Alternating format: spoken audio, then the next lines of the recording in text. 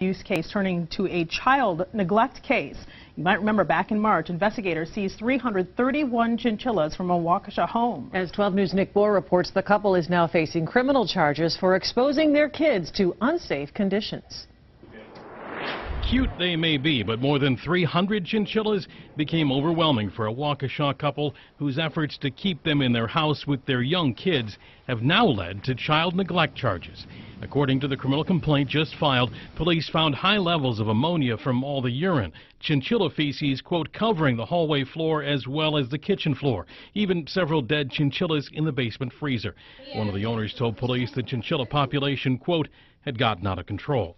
It's been nearly two months now since the 300 plus chinchillas and the three children were removed from the house here and it was declared unfit for human habitation.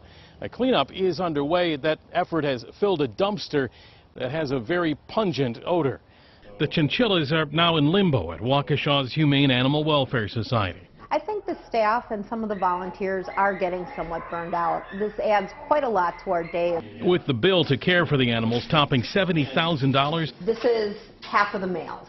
The executive director says they had a deal to allow the couple to keep about 50 chinchillas and sign over the rest for adoption. Animals that have a certain type of coat pattern and are more valuable that is what they were hoping to retain. What we were hoping to do was move the other, say, 270 up for adoption and out as soon as possible.